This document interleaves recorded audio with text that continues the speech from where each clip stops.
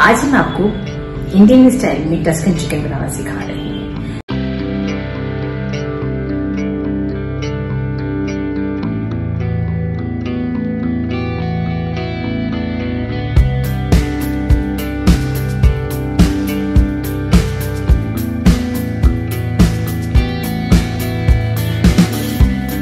तो आज हम आपको टस्कन चिकन बनाने के लिए इंग्रेडिएंट्स बताते हैं।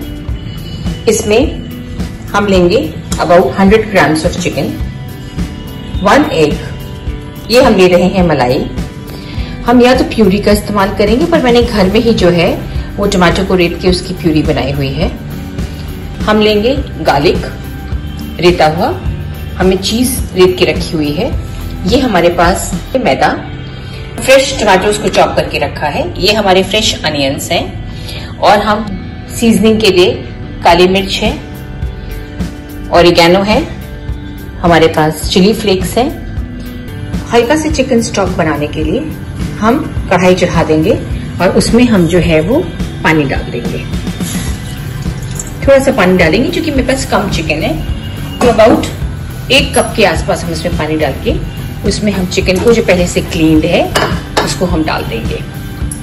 जब तक हमारा चिकन स्टॉक बन रहा है, तब तक हम यहाँ पे एग को फोड़ेंगे, एक एग को इसमें डाल दिया। हल्का सा हम इसको बीट करके मिला देंगे। जब तक हमारा चिकन स्टॉक बन रहा है। हम इसमें बीट करने के बाद इसमें about one and half spoon of हम इसमें डालेंगे मैदा। और इसको अच्छे से इसमें हम मिला लेंगे।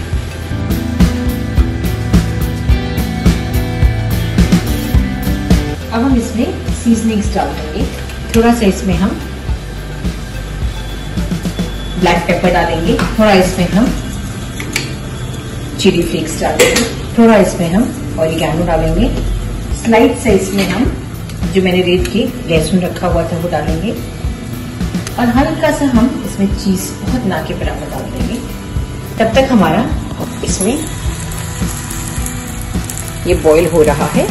इसका रॉक बनने में तो एक बार हम हल्के से चला देंगे। जिससे कि हमारे पास चिकन स्टॉक तैयार हो जाए।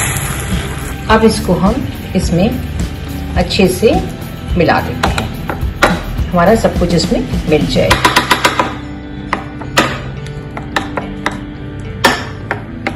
और इसमें हम चिकन के पीसेस डाल देंगे।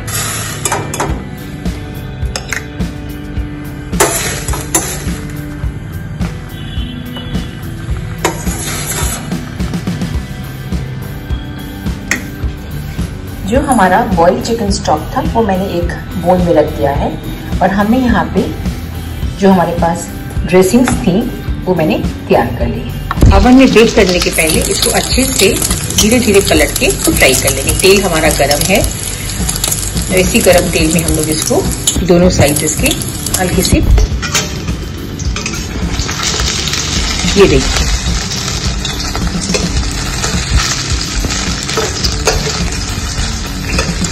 अब हम इसको ओवन में कुक होने के लिए रख देंगे। को यूज़ करेंगे। उसको हम जला देंगे। और उसमें हम बटर या ऑयल देशी घी किसी भी चीज़ का इस्तेमाल कर सकते हैं। तो हम इसमें about three three and half spoon of देशी घी ले लेंगे। इसमें हम थोड़ा सा लहसुन डालेंगे।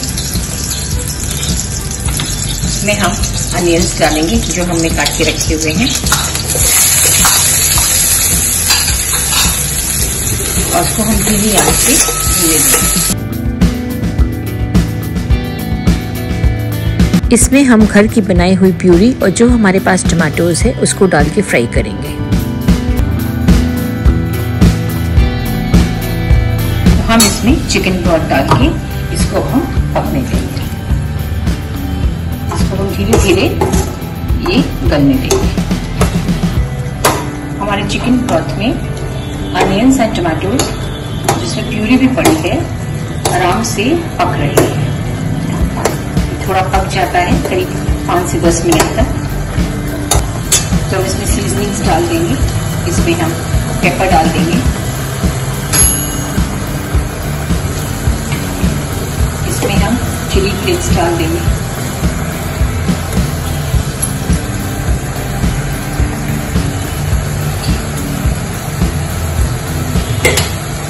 इसमें हम ऑरिगेनो डाल देंगे।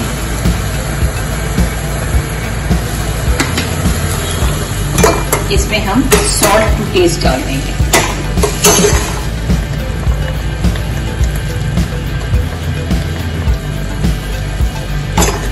इसके बाद हम इसको थोड़ा सा और चलाते रहेंगे। इसमें अब हम घर की फ्रेश क्रीम डाल देंगे।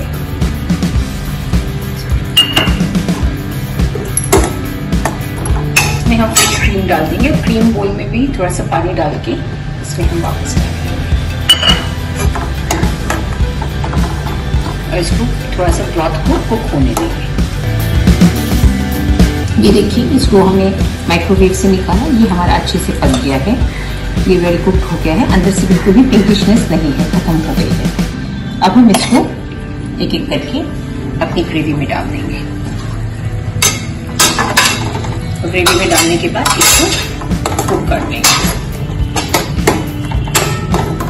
ये हमारा टस्कन चिकन तैयार है। इसको भी ग्रेवी में भी हम करीब चार मिनट तक कुक करेंगे, क्योंकि हम लोग इंडियन में बहुत ज़्यादा कुक्ड रेसिपीज़ चाहते हैं। इस बीच में हम इसमें थोड़ा सा चीज़ डालेंगे।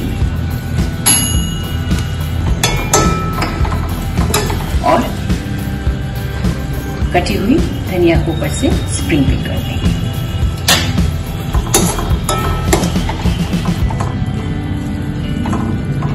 इसमें हम चाहें तो डिफरेंट डिफरेंट वेजिटेबल्स का भी इस्तेमाल कर सकते हैं इसके में, जिससे कि और हेल्दी बन जाए।